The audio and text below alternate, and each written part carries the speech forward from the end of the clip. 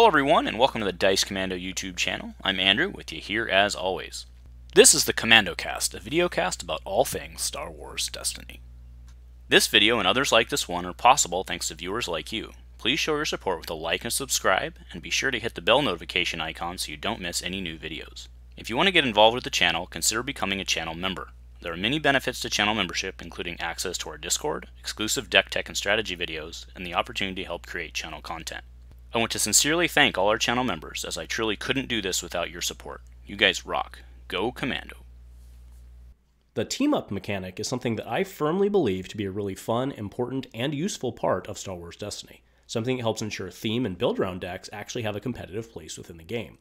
Yet, the current implementation of Team Up greatly concerns me about its potential future impact to the game if left unchecked. So, in today's video, I'll explain what I mean and why, and I'm also asking the question if a design rule around the team up mechanic isn't warranted.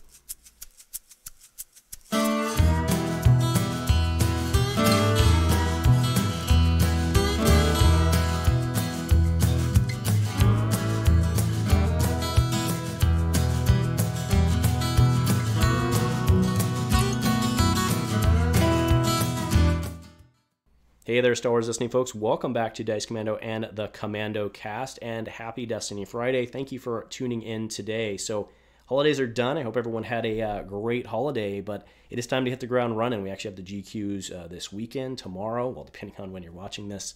Uh, so I'll see I'll see you guys on the virtual table. See you guys on the virtual table. So yeah, time to time to move past those holidays and get get back to where we were. So today, yeah, like I said, I wanted to talk about the team up mechanic and you know maybe maybe where it's going and talk about you know maybe maybe some ideas for for kind of kind of capping its capping its upside. So it, just to get some things out of the way in in the you know in today's video I'm going to be talking going to be using some examples of some ARH cards.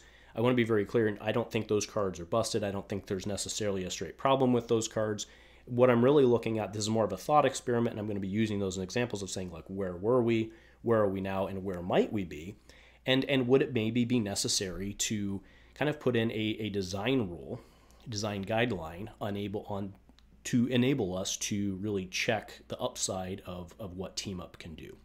So many of you be asking well what is a what is a design rule? Well design rule is an industry term for engineering for design for product development that basically limits the original design in order to ensure that the final product is manufacturable right? So you know the architect or whatever who's sitting down and they're drawing the plans coming up with what what this thing's going to look like they have to follow certain rules that have been learned over time in manufacturing. So, you know we, we can't build that. We, we you know you can't put a big girder on a small beam it's going to break right? So you know stuff stuff like that. And basically it boils down to you know design is one thing but implementation of said design aka actually building it is quite another.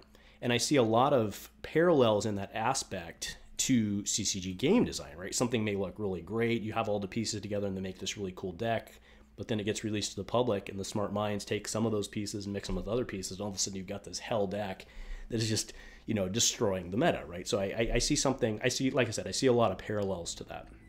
So to kick off today's discussion, what I wanted to do was kind of harken back to um, mid spring or early, late, well, yeah, it was like mid spring of 2020, right? Pretty early in the pandemic uh, we were in that uh, kind of long slog between the Covert Missions release, waiting on news for Worlds, and uh, waiting for ARH to pick up, which didn't end up being until you know late fall because they were kind of waiting for everything to happen, which was fine. But we had a long time on the same on the same set, and during that time we'd kicked off the DC team. We were starting to do online tournaments, and I came up with the idea to you know spice it up a little bit. I released something called called the Counterpart set now, Counterpart was really a counter, Counterpart set was really a thought experiment on my part to see how far we could push how far we could push certain things in order to basically make two wide viable again, right? And if you guys recall where we used to be, three wides were largely dominant for the last several metas. Uh, you know, I mean, Raylo was a thing, and two wides were there, but three wides largely, by and large, had always, almost always dominated in Destiny, right?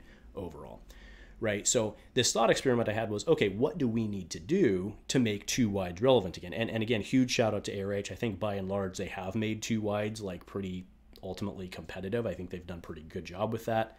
Um, they've done it basically by pushing points, um, but they, they've managed to keep things pretty, pretty balanced overall. So huge shout out there. Now, now my, my headspace was relatively the same as theirs in that what we needed to do was push these character points. The question was, how could you push these character points and still keep them in check?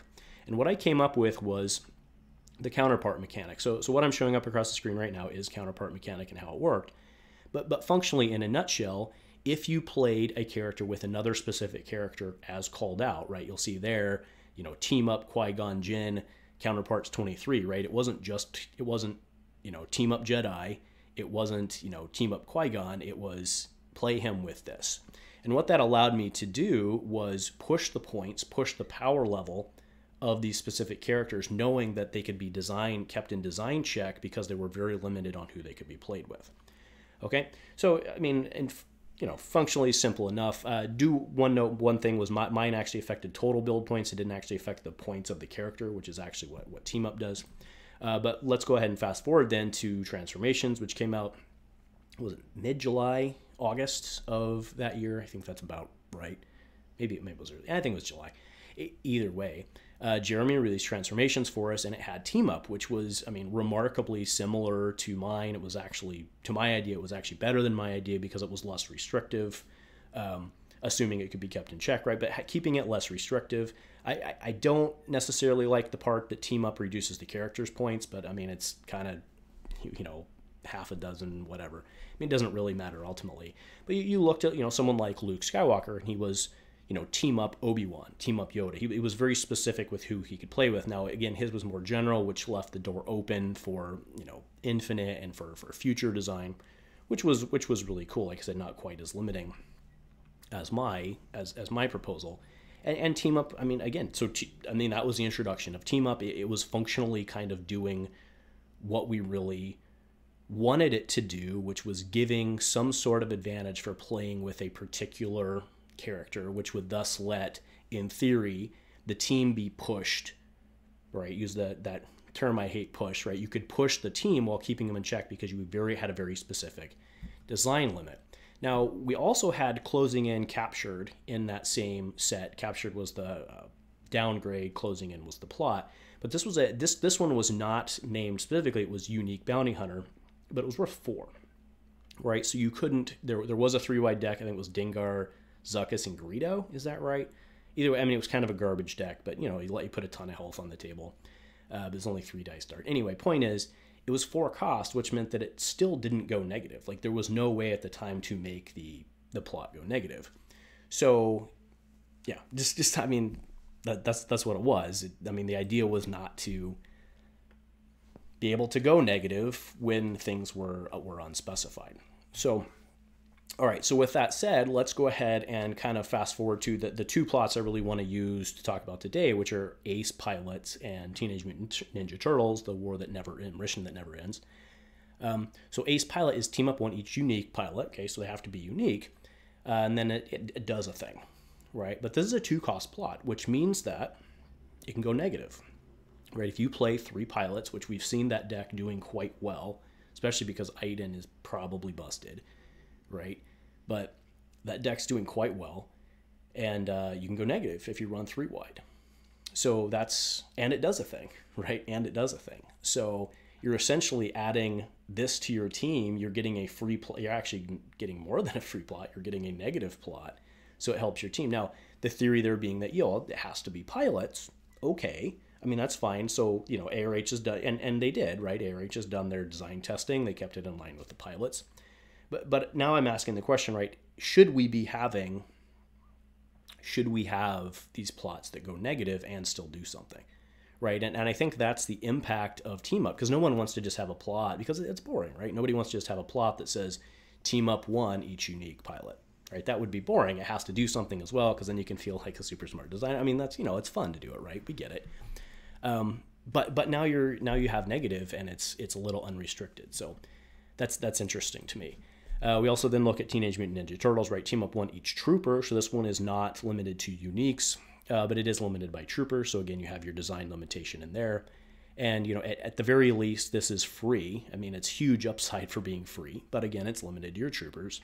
Uh, it could potentially go. It could potentially go um, minus two, potentially, if you have four wide, which I mean you can do. Now remember, you also have You also have unlikely heroes, so I mean, neither here nor there. But I mean, this is this is so anyway. Anyway, you guys you guys get it right. So so with with that in mind, the the question on the design rules then is really sh- well, not a question on design rules, but kind of the philosophy of team up, or at least where my head's at, or what I've been thinking about is, you know, should these plots go negative, right? Should they be able to go negative?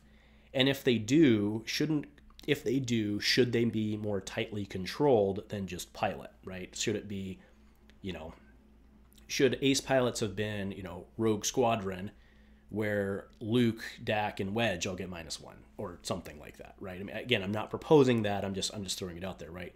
Would it, would it be better for us, right? Would the design rule in this case that we put in be that you need to specify specific individuals rather than just saying pilots, right? And, and in this case, unique pilots, but right. And, and again, I, I want to be very clear. I'm not picking on ace pilots. I just think it's a perfect example of this because because it can it can go negative. Um, heck, I mean, Mission Teenage Mutant Ninja Turtles can go negative, right? I mean, you guys you guys get it, right? So having these plots that one can go negative, two are either free or can go negative and still do something is uh, is pretty concerning for right if this becomes the new baseline i think that's pretty concerning. Now again i have every faith in the arh team to design it and then test it well. That's not the concern right? But it's this thing of should we just go ahead and say look if if if you're going to have a negative plot it has to be detrimental to you not positive to you. You know i mean you can look back at Bitter Rivalry and granted Bitter Rivalry had no there were no build restrictions. I mean, it, well, it was blue. I mean, but you know what I mean, right? Saying only troopers gives design way more flexibility to control that than just having a blue plot, right? Again, so completely fair, but Bitter Rivalry was huge. It was a big negative, right? The pilot, ace pilots is no negative, right? And and there is the argument there, yes, on ace pilots that many people aren't going to use, might might not use the the thing. Fair enough. So maybe it's just there to be negative but it's still there to be negative and there's no real not that there's no there there is no negative other than that you have to only play pilots so and unique pilots right. So so again like again i'm going to be very clear i'm not i'm not picking on these designs but hopefully you can see where my head is in terms of man if this is becoming the new thing or if this is where you know design is going you could see how it could get out of control in the future because now next time we're like well Ace Pilots gave minus one and did something pretty cool. We want this one to be really pushed because we're going to put it with witches or something like that who are not very good right now. Put it with night night night sisters, night brothers, whatever, uh, inquisitors who are not. You know. But anyway, you guys get it, right? At some point, the decision is like, oh, we're, we're going to go ahead and we're going to push this one. We're going to push this one. AK, which, let's be honest, I hear that all the time. Well, this was a push set. No, what that means is that you intentionally made it overpowered with the intention of keeping it in check with itself, right? I mean, let's be clear there, right? So if we decide to push a plot, does it have to be better than the last push plot? I mean, yes, it does by definition, right? So that's kind of where my head is at. Is you know we've got all this cool stuff happening right now. We've seen what it can do, and uh, would it be apt? Would it be to our benefit to really try and, and check that in terms of terms of the potential upside. And one of the ways we could do that is just simply, you know, within the ARH team. I mean, I, I know I know that the ARH, you know, design set, you know, Zion left notes for all the people behind him, and they all have their design logs, and and for sure they do that. Um, but you know, would it be behoove the ARH team to be like, look, here here's the set of rules we have, right? If you're going to do somebody, you have to have a point EV ratio. If you're going to do a plot, it can only do this, right? And and the one that I think is, is the easiest poster child for that right now, which is why we're talking about it, is is team up, right? I mean, team up has the potential to get out of control because the smart people are gonna do smart things, right? So I'm just wondering if putting in some sort of specificity, specificity, specificity. There we go. Putting in a specific call out whatever it may be might be the right thing to do. So, you know, I'm just spitballing here. I mean, I'm not really spitballing because I kind of put a lot of thought in this, but um, uh, you guys know what I'm saying, right? I don't have the right answer, nor would I even pretend to have the right answer. It's just an idea I had and a question I thought worth asking. Um, and I thought that was a reasonable discussion to have around it is, you know, what, what should we do? How, how should Team Up really be used going forward in Destiny? What would be the best way to use Team Up in Destiny? to make sure that uh, it doesn't go sideways on us. So anyway, that's that's it. I'd, I'd love to hear your guys' comments, your thoughts on it. Um, yeah. So anyway, I'm looking forward to getting some games in with you guys this weekend. Uh, I'll see you guys on the tables. If nothing else, folks, go Commando.